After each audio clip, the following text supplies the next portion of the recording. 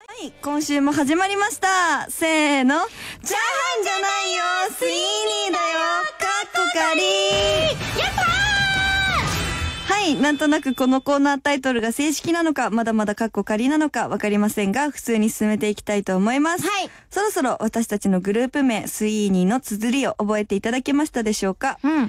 アルファベット表記では CYNHN と書いてスイーニーと発音します。私たちの名前スイーニー何度も言っていますが初対面で正確に読んでいただいたことがありません。やったーそこでそんな一見なんて読むかわからない漢字をクイズ形式で紹介したいと思います。はい。本日はこちらじゃん小さいのサトシの明るい最後に送り仮名のいがつきます。漢字3文字です。はい。こちらはラジオネーム、ロッキソニンさんからの出題です。ありがとうございます。す。小さいは大小の小、小学生の小。サトシは妻夫木聡さんのサトシ。明るいは日に月の明るいです。えこちら小さいサトシの明るいと書いてわかりますでしょうか？何もわからないわからね。ないです。ねまた送り仮名ついてるし。え、なんでですか？送り仮名つけられるとちょっと難しいな。答えはホワイトボードにお願いします。はい。それではシンキングタイムスタート。なんだ言葉ですか？最近の言葉？ピエンとか？ええ？どういうこと？そっち？若い子が使う？私もう若くないのかもしれない。こんな字見たことないんですが。ちだって最悪最低4文字ですよねこれえ、どういう意味ですか？盛り上がってる系ですか？盛り上がってるって、もう逆に。何盛り上がってるって何？えー、なんだろう？最初の言葉はあですか？なあ！そのぐらい教えてくれたっていいじゃないですか？あ、そういうこと？どういうこと？これじゃないのひらめいた言葉。え？えでもなんでこんな字なの？え、どういうこと？絶対正解じゃいないんだけど。絶対え、待って待って待って。待って、待って。こんな字じゃないんだけど。当て字かな？なえ当て字でもないんだけど。もうサトシがもうポケモンのサトシしか思い浮かばなくて、もうそれに支配されてんだよね、ずっと。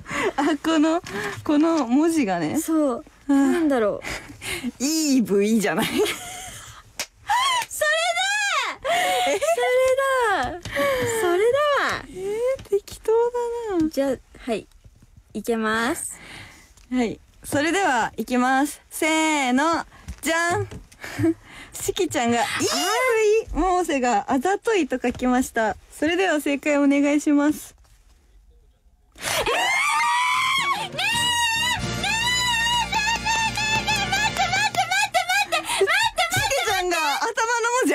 あって、あですかって言うから、え、それ、あでいだったら、こう、あざといじゃんって。それかと思ったのでもそんなわけないよなって思いまね、難しいね。え、これ当て字ですよね、でも。えそうなの？なんで？バカバカバカバカバカバカ本えー、こんな字なんだ。当悔しいでも正解ってことで、好きも正解した今。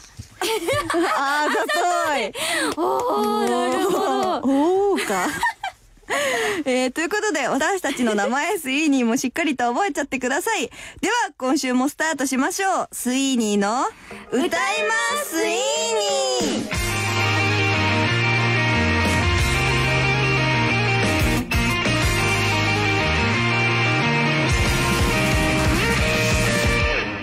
FM 富士お聞きの皆さんこんばんは。スイーニーの今年の夏したいことは花火をやって写真撮りたいです。桃瀬玲です。今年の夏したいことは、みんなでメンバーでお泊まりして、花火して、お一緒にお酒飲んで、海行って、アイス好きです。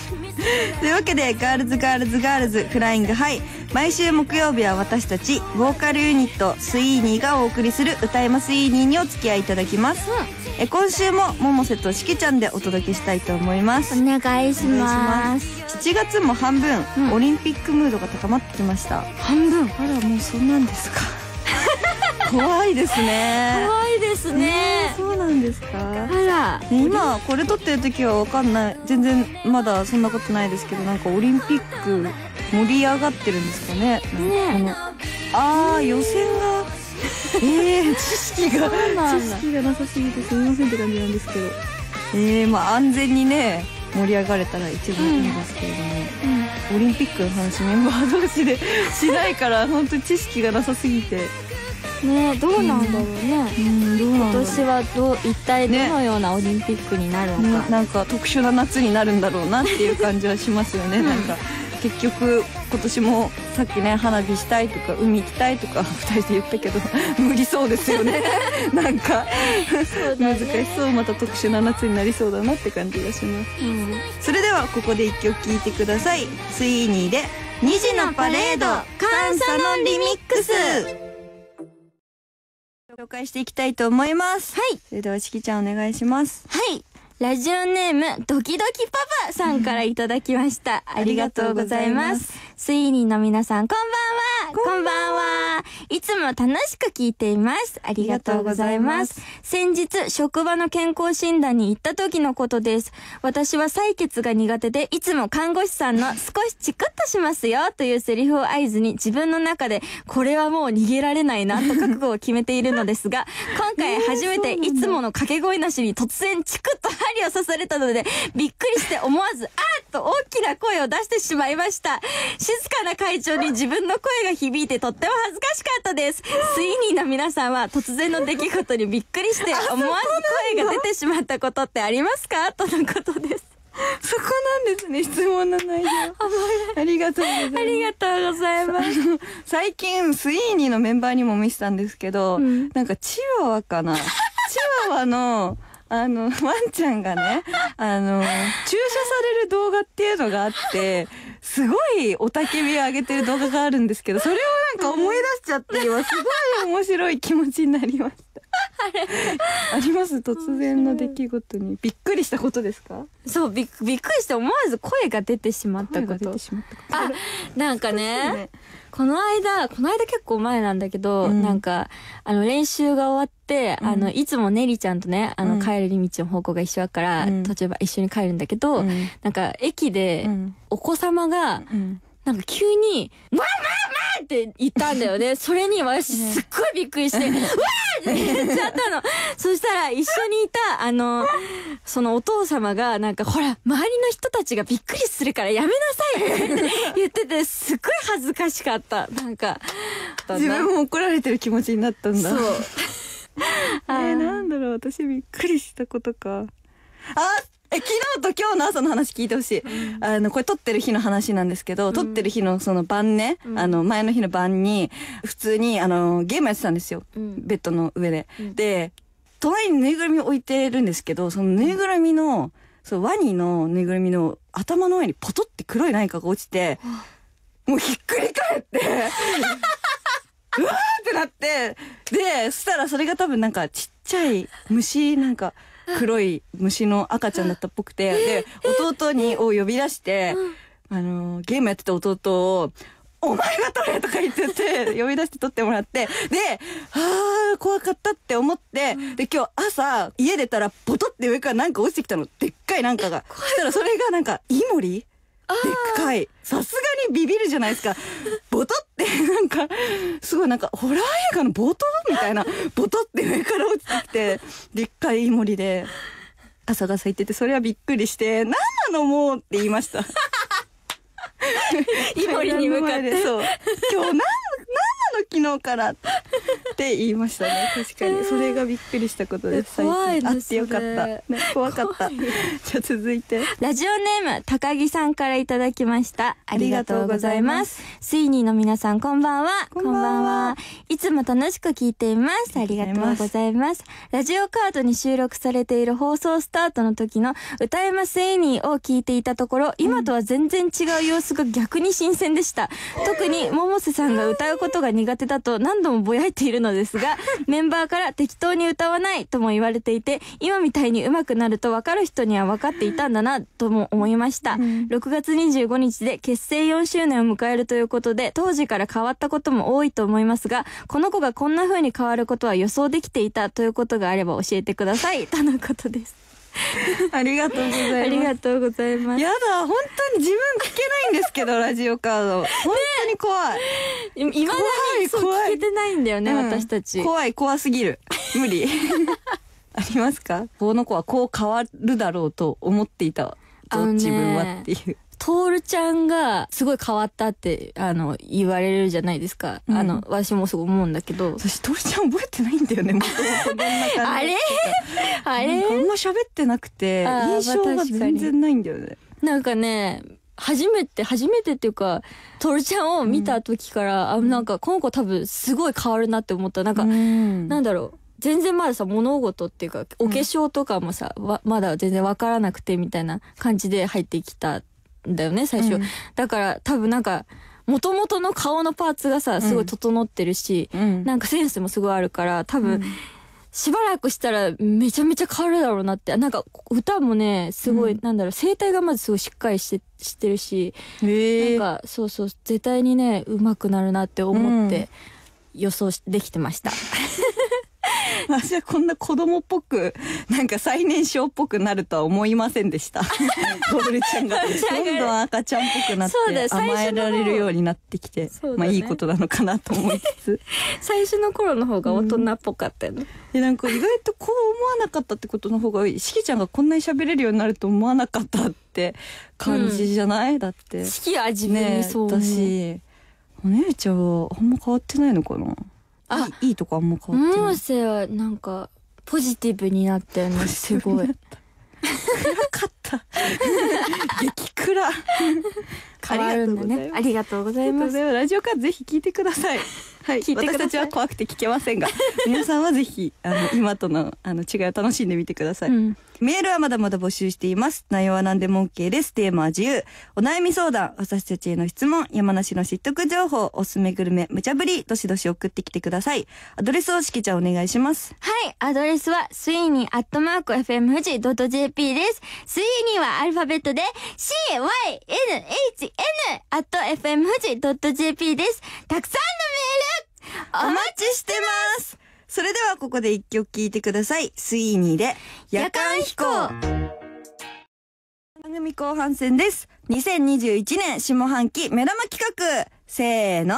物合わせ。かっこかり。ーい、スイーニーの新曲「青合わせ」の煽り企画です、えー、物と物を掛け合わせて造語を作っていただきます、うんその造語を私たちスイーニーが3段階で判定させていただきます。はい。これまたリスナー任せのコーナーになっております、それでは早速紹介していきたいと思います。じゃあ、式から読みたいと思います。いします。ラジオネーム、名前は呼ばれないと消えるさんからいただきました。物合わせ。エモーショナルと胃もたれを合わせて、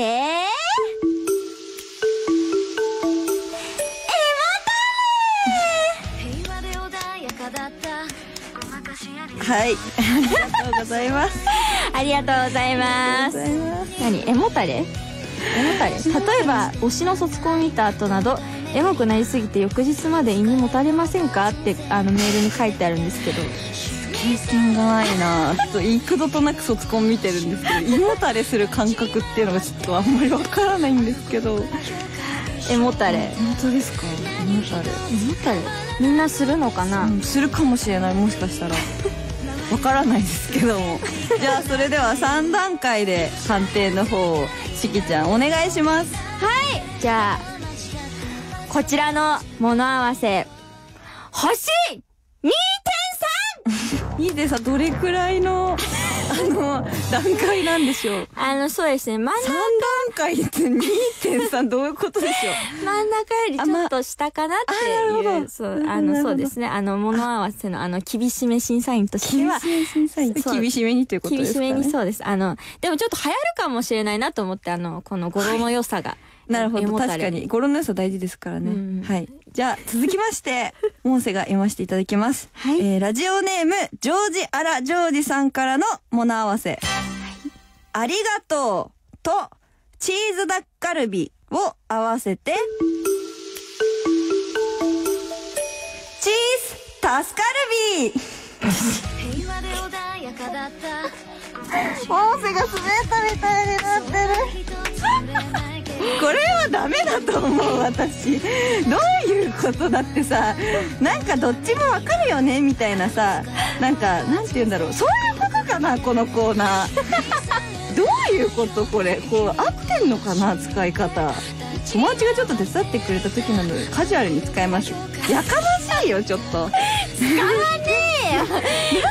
使わカルビってな。いでもや可愛い感じはするけど確かに。すごいさあの文章で見た時はなんか、わーっと思ったんだけど、すごい百瀬の口からその言葉が出た時すごいなんかインパクトがあって、えー、そそれでは私が、えー、3段階で判定させていただきます、うん、星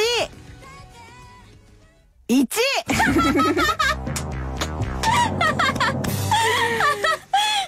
そうだよ。あえっとそう星1一番下かな？ちょっとちょっとなんだろうこれ。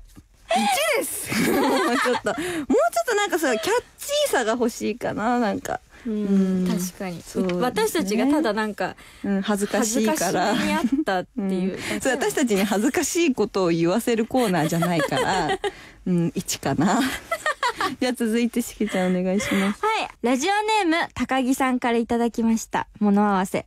いきたいと思います。レンズと、フィルムを合わせて、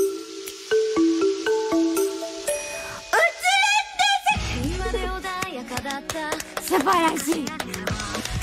素晴らしい。まあ、でもちょっとそのまんまな気もしなくもないですけどねそう映るんです。よ構造な気もしなくもないですけど、ね、厳しめに判断そってか、ちょっとあの、さっきのやつからだったから、すごいなんか、なんだろう、すごいなんか塩美なものに。造語造語なのかな？ちょっと難しいですけれども。じゃあそれでは3段階で判定の方お願いします。はい！星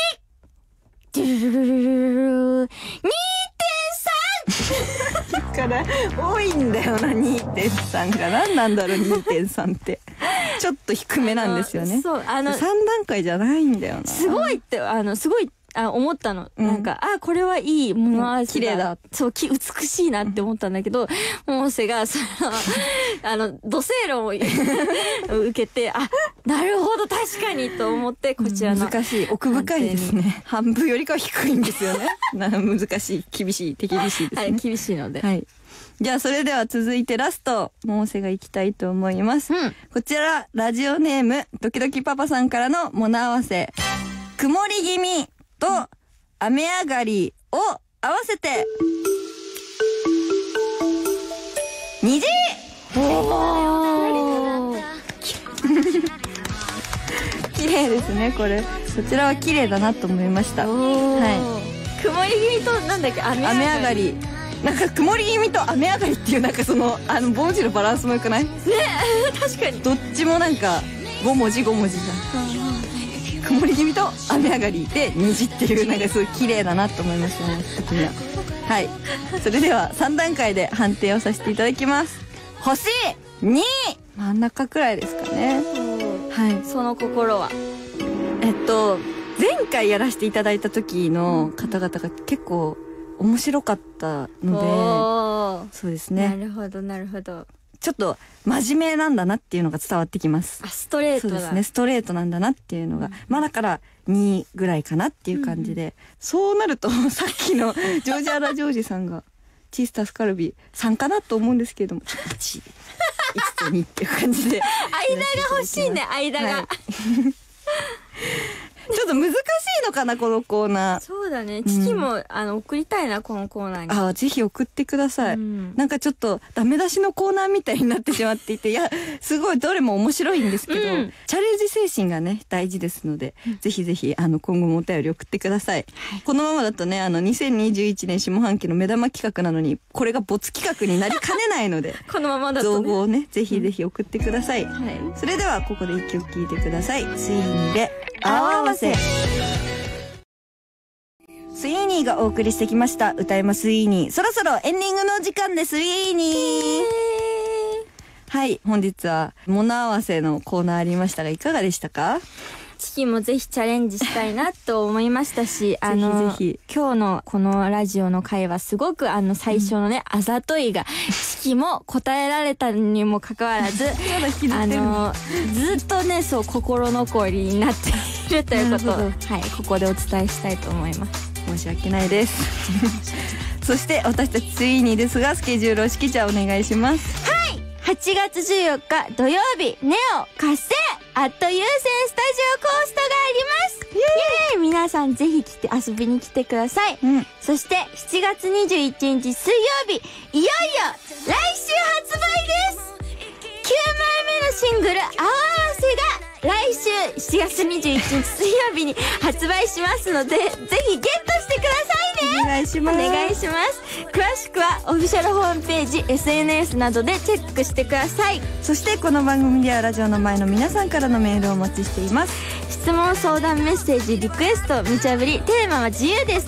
怒ってます、イーニーじゃはいじゃないよ、スイーニーだよ。小林いいスイーニースイッシュ語録、苦しくってブルー、物合わせ生歌えますイーニーへのリクエストなどなど、各コーナーへのお便りもお願いします。アドレスは、スイーニーアットマーク FM 富士 .jp です。スイーニーはアルファベットで CYNHN